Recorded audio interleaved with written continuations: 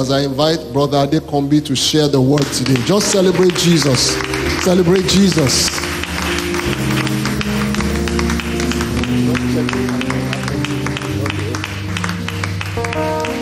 Praise the Lord. Let us pray. Father, we thank you for your mercy. We thank you for your grace. We thank you for your strength. We thank you for your favor. We thank you for your glory. We thank you, Father, for provision. We thank you for protection. We thank you, Father, for sustenance. We thank you, Father, for victory. We thank you, Father, for conquest.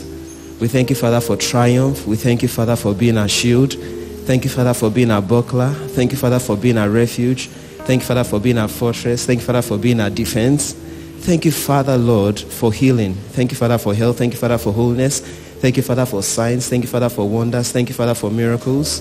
Thank you, Father, for knowledge. Thank you, Father, for understanding. Thank you, Father, for wisdom. Thank you, Father, for trials. Thank you, Father, for temptations. Thank you, Father, for testimonies. Thank you, Father, for our houses. Thank you, Father, for our homes. Thank you, Father, for our surroundings. Thank you, Father, for our families. Thank you, Father, for our friends. Thank you, Father, for our enemies. Thank you, Father, for our careers. Thank you, Father, for our work. Thank you, Father, for our jobs. Thank you, Father, for our businesses. Thank you, Father, for our professions. Thank you, Father, for blessing us with all spiritual blessings in heavenly places in Christ Jesus. Thank you, Father, for giving us all things that pertain to life and godliness. Thank you, Father, for greater is He that is in us than He that is in the world. Thank you, Father, for this is the victory that overcomes the world, even our faith. Thank you, Father, for all things are working together for our good. Thank you, Father, for the lines are falling onto us in pleasant places. Thank you, Father, for perfecting all that concerns us. Thank you, Father, for performing all things for us. Thank you, Father, for making a savor of your knowledge known through us in every place. Thank you, Father, for we have this treasure in earthen vessels, that the excellency of the power may be of God and not of us. Father, in your word it is written that they go from strength to strength. Every one of them appeareth in Zion before God. In your word it is written that upon Mount Zion shall be deliverance and holiness, and the house of Jacob shall possess their possession. Therefore, I decree and declare because we have come, we are coming to higher levels of strength in Jesus' name. I decree that because we have come, we are coming to higher levels of deliverance and holiness in Jesus' name. As your word comes forth, let it come forth with power, let it come forth with precision, and let it bless the hearers in Jesus' name. Thank you, Father. Thank you, Lord, for we pray in Jesus' name. Praise the Lord. Okay, it's a great honor to be here once again to um, bring the word of life to you. Um, I want to appreciate the grace of God upon our pastor, Pascal. Thank you for inviting me, sir. Thank you for extending the hand of fellowship unto me. May God continue to cause you to fulfill destiny in Jesus' name. Okay, so um, I will be preaching today on a topic titled The Bible and Your Brain. The Bible and Your Brain. But I'll be looking at a topic titled, a subtopic titled From Knowledge to Understanding. From Knowledge to Understanding. Praise the Lord. Okay, so I came here first of all on a vigil and I laid a foundation and we continued on Tuesday um, during Digging Deep. So I'll mention some of the things I did. I'll do just a little recap. I'll mention some of the things that I spoke about and then I'll build on that. I'm going to say some things today that I never said on during the vigil and on Tuesday. Praise the Lord. So I'll lay a foundation and then bring in a couple of new things. Praise the Lord. Okay. Um, there are certain things that are sacrosanct as regards making the most out of your brain.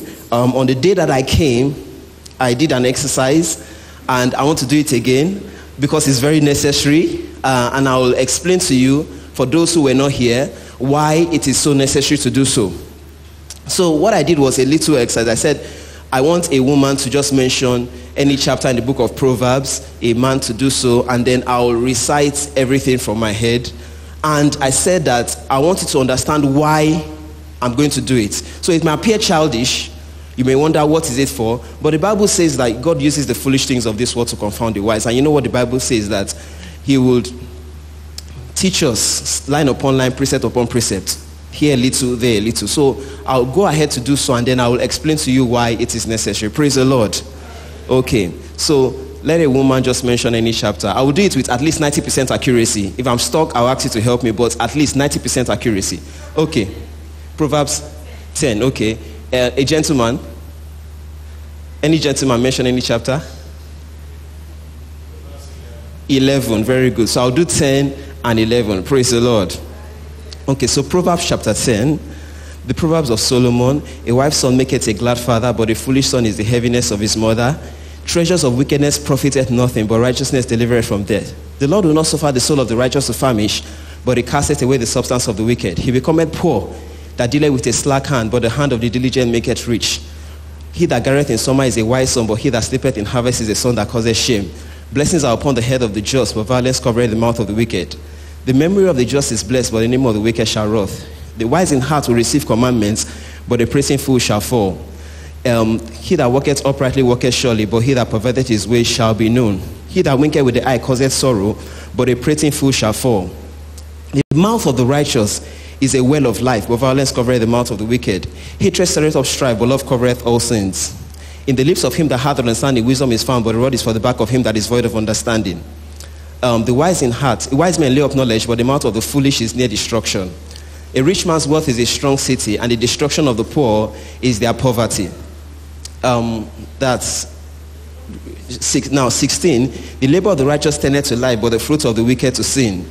He's in the way of life that keepeth instruction, but he that refuseth reproof erreth. Now 18. He that uttereth, like, he that uttereth a slander, and he that he, he that hideth his hatred with lying lips, and he that uttereth a slander is a fool. In the multitude of words, one not sin, but he that refraineth his lips is wise. The tongue of the just is as choice silver, but the heart of the wicked is little word. The lips of the righteous feed many, but fools die for want of wisdom. Um, the blessing of the Lord, it maketh rich, and he addeth no sorrow with it. It is a sport to a fool to do mischief, but a man of understanding hath wisdom. He that, um, no, the, the desire of the wicked will come upon him, the, the, fear of the wicked will come upon him, but the desire of the righteous shall be granted. Um, 25. As the, as the whirlwind passes, so is the wicked no more, but righteous is an everlasting foundation. 26. As vinegar to the teeth and as smoke to the eyes, so is the sluggard to them that send him. The fear of the Lord prolonged days, but the years of the wicked shall be shortened. The hope of the righteous shall be gladdest, but the expectation of the wicked shall perish. Now, that's 29. The way of the Lord is strength to the upright, but destruction shall be to the workers of iniquity. The righteous shall never be moved, but the wicked shall in- inhabit. The righteous shall never be moved, and the wicked shall not inhabit the earth the wicked are overthrown and are not, but righteous, no, the mouth, the mouth of the just, 31, the mouth of the just bringeth forth wisdom, but the tongue shall be cut out. Now, 32 and the final verse, the lips of the righteous know what is acceptable, but the mouth of the wicked speaketh forwardness. Praise the Lord. Now, praise the Lord. I want to explain why I did what I did. I want to explain it. You may not understand. Um, I wanted to share, I will share a testimony with you. I shared it on Tuesday when I came. I noticed that when I was young, my attention span was very poor, very, very poor. Um, I shared a testimony of how one day, or a story, an experience of how one day my mother asked me to lace my shoe. She just asked me to lace my shoe. I was young. I was, couldn't have been more than eight years old, not even up to eight years old. And I just lost concentration. I didn't, I didn't, I didn't, I mean, she came back about five minutes later, I had not laced my shoes. Praise the Lord. Because I just drifted away. I noticed that when I was in class, the same thing will happen. I noticed that um, even when I got into, into university, there was a day I went to the university to read, the university library. And in two hours, I was only able to assimilate two pages. It was very frustrating. Every time I just tried to read, my attention would just drift away and drift away. Now, about 10 years ago, the Holy Spirit began to teach me certain principles on how you can strengthen your brain. And I began to work with those principles. And those are some of the principles that I want to share today. I want to share some of those principles today. You just began to work with me on certain principles, and some of those principles I want to share in practical terms today. Praise the Lord. I want to say to you that you can build your brain to become whatever you want it to become. You can build your brain to become whatever you want it to become. In fact, the Bible makes us understand that we can renew our mind. Praise the Lord. The Bible says, Be ye transformed by the renewing of your mind. So I had poor attention. By practicing certain principles, I've, decided, I've discovered that it has become much, much better. Apart from that, you can also increase, you see, your brain controls about 11 different functions. And I'll show you from the Bible. One of them is creativity, your ability to be innovative. Your brain controls that. And you can build innovative, uh, your creativity the same way I built my knowledge to be able to contain this. Let me tell you something. Some of you, do you know that you can have the whole Bible in your head? Praise the Lord. And you know what the Bible says? The Bible says, let the word of Christ dwell in you richly. Praise the Lord. Let it dwell in you what? Richly. Praise God. For example, let me give some. Some of you feel like I've seen some parents in the body of Christ that if their child is left handed, their child is left handed, they try to change the hand of a child from being a left-handed child to a right-handed child. Praise the Lord. Do you know why they do so? Because they are not sound in the word of God. I make bold to say that. They are not sound in the word of God. If they were sound in the word of God, they will never do that. You know why? Let me show you something in the Bible. Judges chapter 20 and verse 16. Judges 20, 16.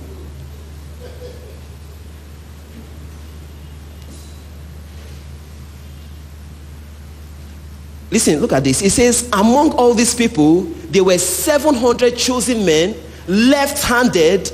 Every one of them could sling stones at an hairbreadth and not miss. Did you see that? The Bible says that, listen, that there were 700 extraordinarily gifted men. Huh? That they, were, they had what? The spirit of precision. They could fight so that they could sling stones at an hairbreadth, the breadth of a hair, and not miss. Which means they were geniuses. They were great in battle. And the Bible says one common thing about all these men, these men, is that all of them were left-handed. Praise the Lord. It means that every left-handed person carries a specific anointing for precision in whatever they do. Praise the Lord. Now a child is left-handed. You now change the child of the person from left to right. And you alter the destiny of the child. Praise the Lord. Why? Because they are not sound in the word of God. Praise the Lord. They don't have, there's nothing wrong in having the, the Bible says, let the word of Christ dwell in you what? Richly. There's nothing wrong in having the whole Bible in your head. You know what I'm saying so? A man of God that I know, he invited a woman to his office. He said, God said, You are my wife. And he said, God said, I should anoint you. And he took anointing oil. He anointed her. As if it was not enough. He took her top off. At that time, she didn't know that this one is not from God. From there, he took her skirt off. Eventually, you know where he was released to now? He slept with her. Do you know why Christians are gullible nowadays? Because the word of God is not in their head. Praise the Lord. The word of God is not in their head. So, what I'm trying to say is that if we had the Bible in our head, and please, I want to appeal to you. I'm going to say entirely new things in the second service that I didn't say in any of those two services. If you have the Bible in your head, number one, it will help your ability to comprehend truths. You, it will help your decision making, just like in the first example I gave, left handed, right handed, for example. Secondly, it will help you appreciate so many things uh, that we are doing differently uh, that you would have done in a certain manner because you have better understanding. Praise the Lord. It will help you academically. Praise God. It will help you in your business. It will help you manage your emotions. I'm going to show that very soon. It will help you manage your emotions. It will help every blessed area of your life. Praise God. It will help every area of your life if you had the Word of God. Praise God. For example, let me share another passage. Proverbs chapter 21 and verse 17. Proverbs 21 17. It says, He that loveth pleasure shall be a poor man. Praise God. If everybody understood this, if everybody understood this, uh, a lot of people who wallow in poverty will not be wallowing in poverty. Praise God. Just a little. So if we had the word of God in our head, there are some times that I want to do something, but because I just have the word of God in my head, uh, because I just have it in my head, it just puts me in check. Praise the Lord. For, let me give you an, one more example. One more example. Why it's good to have the whole Bible in your head. I was raised by a single mother, a single mother. Praise the Lord. And I noticed that my mother and I were not very, after a while, we started to have, you know, these normal clashes that a son and a mother will have. Praise the Lord. But having the whole Bible in my head eh, brought me out of those things, those, those, those vices that could have easily destroyed me. Praise the Lord. I want to show you two things from the book of Proverbs. Proverbs chapter 23 and verse 20. Proverbs 23 and verse 22, sorry. Proverbs 23, 22. It says, Hearken unto thy father that begat thee, and despise not thy mother when she's old. Did you see that? Because some of you, you say that, ah, my mother is old fashioned. She doesn't understand. He said that, there are these things. Eh, that you know what? You know what? You know, she doesn't even, she, she can't even use email. She can't do, hey, whether she can use email or not, whether she's on Instagram or not, the Bible says, don't despise her when she's old. Praise the Lord. But you know what? Uh, if you don't have this word in your head regularly, it's possible that you get to a point that you say, ah, I beg, she's, too, she's, oh, she, she's, she's anachronistic, Joe. She doesn't know. She doesn't know what's up. Praise the Lord. Let me share another one with you. Let me share another one with you. Proverbs chapter 15 and verse 20. Proverbs 15 20. A wise son maketh a glad father, but a foolish man despiseth his mother. Can you see that? You see, can you see, the Bible doesn't say a foolish man despises his father. It's specific as regards what? The mother. Why? So you should ask yourself why. Praise the Lord. Do you know that by course of nature, let me show you something. I'll show you something from the Bible and you, so that you, you understand something. Let's go to Proverbs chapter 1 and verse 7. Proverbs 1 7. Yes. Now let's go to the next verse, 8. It says, My son, hear the instruction of thy father and forsake not the law of thy mother. Listen to this. So let's be. Fathers give instructions, mothers give laws. There's a difference between an instruction and a law. An instruction helps you in the short term, a law helps you in the long term. Because mothers see farther than men. So a man can only help you, I mean, an instruction can only help you in the short term, praise the Lord. But a law helps you what? In the long term. Laws are specific, I mean, sorry, instructions are specific, laws are what? General, praise the Lord. Let's go to another one. Proverbs chapter 6 and verse 20. Proverbs 6 20. He says, My son, keep thy father's commandments and forsake not the law of thy mother. Can you see law and mothers coming? Because a man doesn't have what it is, what it takes to give a law. He wasn't created for that. He was created for commandments and instructions. His mothers that were created for laws. So when you despise your mother, listen, the men in the Bible that were close to their mothers fulfill their destinies. The ones that were not close to their mothers did not fulfill their destiny. Esau, for example, the one that was close to his father did not fulfill his destiny. It was Jacob that was close to his mother that fulfilled his destiny. Why? Because men can only give instructions. It is mothers that give laws. Praise the Lord.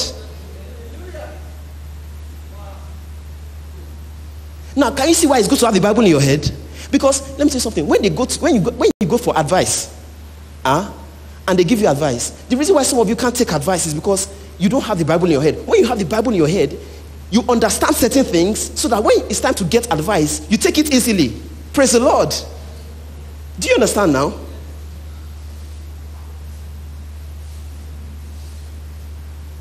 If somebody is trying to advise me on this thing, if the person doesn't need more than one minute, I'll be nodding my head, I'll be smiling. Because I'll take because why? I understand it. Praise the Lord. That's why it's eh, for every Christian. The Bible says, let the word of Christ do what? Let it dwell in you what? Richly. Every Christian should have the whole the Bible in your head. It should, you should dwell in you richly. Let me show you one more thing that Peter said. Peter says something very crucial. First Peter chapter 3 and verse 15.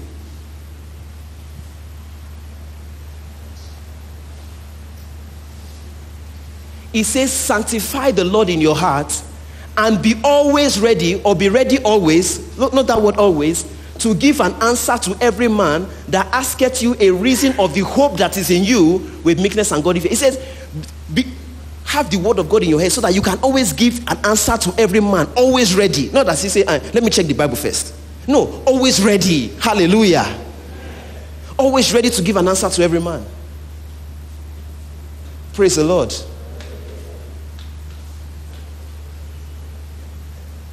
Let me tell you one more thing.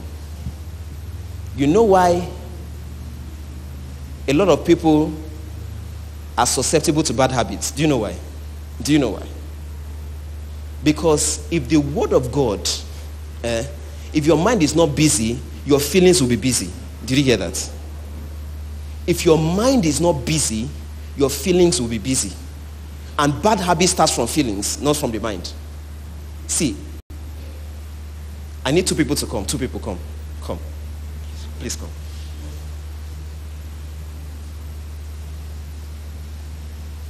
Face, come, face um, behind us. Please listen to this carefully. Just watch. Please just watch. Your mind, your soul is divided into your emotions, your will, and your mind. Did you see that? Your emotions, your will, and your mind. Watch this carefully. Watch this carefully. Huh? Your mind is the strength of your soul. Your emotions are the weakness of your soul. What did I say? Your mind is where? The strength of your soul. You are not transformed. You are transformed by the renewing of your mind. So transformation happens in the mind, not in the emotions. Hello? Ecclesiastes chapter 6 and verse 9. Let me show you something. Ecclesiastes 6 and verse 9. It says, Better is the sight of the eyes than the wandering of the desire. Did you see that? Better is the sight of the eyes than the wandering of the what? Desire. Now, it, it means that better is mental exercise than emotional exercise. The sight of the eyes refers to your mind. Your mind. Go to Ecclesiastes chapter 2 and verse 14. Ecclesiastes 2 14. It says, A wise man's eyes are where? They are in his head. In where? His head. His head. When the Bible talks about eyes, it means your brain. The wise man's eyes are where? In his head. His head. His head. Praise the Lord. But a fool walks in darkness. Praise the Lord. Go back to that previous chapter. Go back to that previous chapter, please. Um, 6 and verse 9. He says, better in sight of the eyes, mental exercise, than the wandering of desire, emotional exercise. Praise God. Back to what I'm saying. The transformation happens in the mind, not in the emotions. Huh? Inventions, innovations, they happen in the mind, not in the emotions. Proactivity, if you're going to be diligent, is a function of your mind. The Bible, I mean, people say, I've made up my mind to do something. Not I've made up my emotions. I've made up my mind.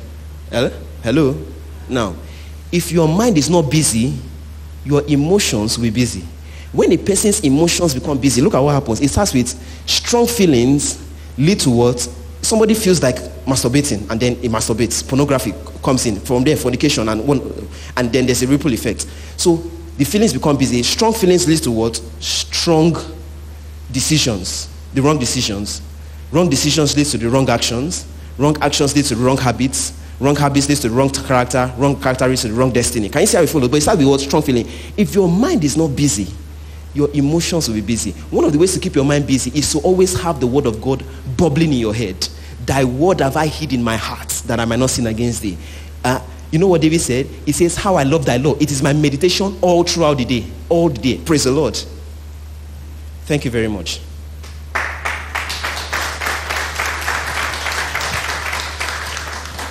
So that's why I think it is very necessary that you get to a point that you are always, you have the word of God in your head.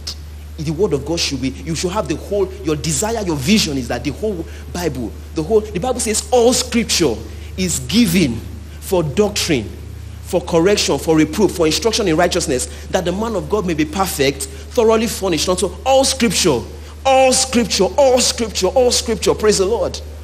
Where God was going to turn around my life. The scripture with, in my reading life the scripture he gave me was from Nehemiah chapter 8 and verse 8. If I'm too busy, if I prefer, although some people say Nehemiah, it's only mathematical. Luke and John you like. You like Ephesians. You don't mean Nehemiah. They despise those books. Go to Nehemiah chapter 8 and verse 8. Let me show you something. Nehemiah chapter 8 and verse 8 says, See, they read in the book of the law of God distinctly and gave the sense and caused them to understand the reading. Did you see that? They gave the sense and caused them to understand what? The reading. And God showed me there that if, if you can read distinctly, you will make sense out of it. If you can make sense out of it, you will make them understand. Um, you, you will cause people to understand what you're reading. And then he spoke to me right as I, you read, recall as you read, and recite as you read. Praise the Lord. Boy, it was from Nehemiah.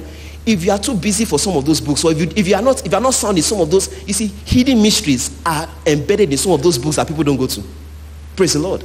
That's why you should have all scripture in your head. Praise the Lord. Now, let me talk about how you can go from knowledge to understanding. Very simple. Listen to me very carefully. Huh? Knowledge is good, but understanding is better. Did you hear that? How many of you know that it is wrong to tobacco smoking is dangerous to health? I do know those people who smoke, they know. But do you know why they do it? Because they don't understand. Now, let me tell you how knowledge goes, becomes understanding. Repetition converts knowledge to understanding. Repetition converts what? Knowledge to what? understanding. I want to establish one or two things. Let's go to Proverbs chapter um, 10 and verse 11. Proverbs 10 and 11.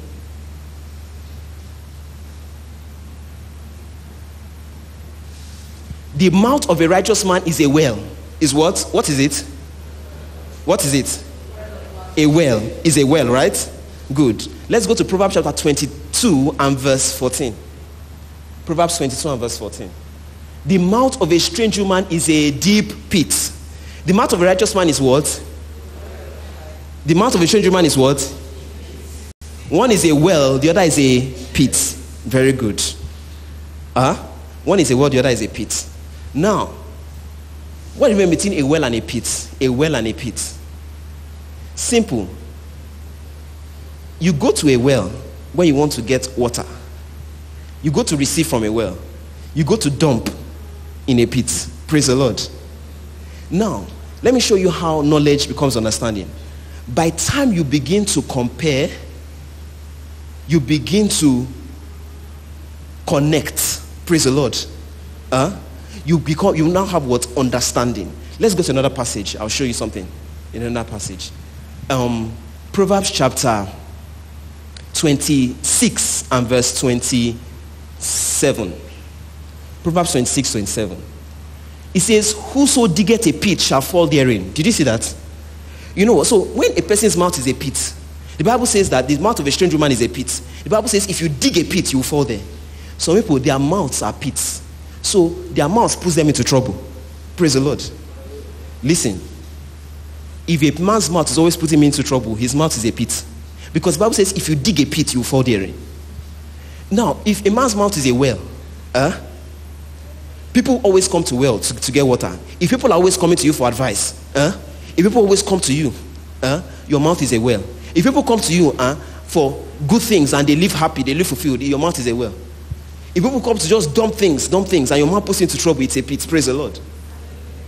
Ask your neighbor, say, your mouth a well or a pit? Praise the Lord. But you know what? You know what? You know what? How do you go from knowledge to a place of understanding? By comparing scriptures with scriptures, repeating it over time. Repeating it over time. You begin to compare scriptures with scriptures, scriptures with scriptures. First, you begin to connect. You make a connection. Ah, you know what? I've been doing meditation every day for the past 10 years. I've not missed one day of meditation. And so people ask me, how is it possible? I started with just five minutes. Five minutes alone. Yesterday I was busy. I went to speak somewhere. I tried to do at least, at least 10 to 15 minutes. Praise the Lord. Every day. Sometimes it's three hours, okay, but sometimes at the lowest, 10 to 15 minutes. But guess what? The more I repeat, eh, the more I repeat, I just start to make connections. Connections that are the Bible talks about the mouth of a well of a righteous man, and then the mouth. Of, let me see what, what what's the connection. Let me see if I can get. The more you connect, the more you get understanding. Do you understand? And let me tell you why understanding is necessary. Proverbs chapter 14 and verse 6. Proverbs 14 and verse 6. A scorner seeks wisdom and find it not, but knowledge is easy unto him that understandeth. Knowledge is easy unto him. You know what that means? It means that when you have understanding, knowledge will be easy for you. For example, a lot of people know that it is wrong to lie. People still tell lies. You know why? There's no understanding. There is no what? Understanding. Praise God. There is no understanding. Praise God. There's no understanding, and that's why it still happens. Praise the Lord. So, how do you get understanding? By doing what? Comparisons, connections, and what? Construction. For example, when you do a connection, eh, the next thing will be comparison. You begin to compare spiritual things with spiritual. Praise the Lord. And then after that, you come up with what? A construction. You come up with something out of it. And that is where you get what? Understanding. But listen, you don't just do it by just reading the word of God once in a while when you like. Praise the Lord. You do it by having an ethic of continuously repeating the word of God to yourself, repeating the word of God to yourself, taking the word of God, repeating it to yourself, repeating it to yourself, repeating it to yourself, and then as you are doing so, pam, light will sparkle in you. There will be inspiration, and then there will be understanding. Praise the Lord. Father, we thank you for the grace to bring your word to your people. Father, we ask, O Lord, that you take us from knowledge to understanding in Jesus' name. Help us, O Lord, to live by your word in Jesus' name. Help us to be doers of your word and not hearers only in Jesus' name. Give us understanding in Jesus' name. Amen. Amen. So, how many of you are going to try to start meditating as from today? You're going to try to start meditating. You know, how many of you are going to start small? Maybe just five minutes. Praise the Lord. And taking the Bible, you know, you know, you can take the Bible and just speak. Just speak, maybe like five verses. I tell people you can speak five verses five times in five minutes. You can take five verses of the Bible and just speak it to yourself. And then it just gets into your head. And then all the day long, it, it just goes to resonate in you. Praise the Lord. And if you do so, you find that you're not just a person of knowledge, you are a person of understanding. And as you understand, you know what? Life comes. The Bible says in Proverbs 16 22, understanding is a wellspring of life unto him that hath it, but the instruction of fools is folly. May God bless you in Jesus' name.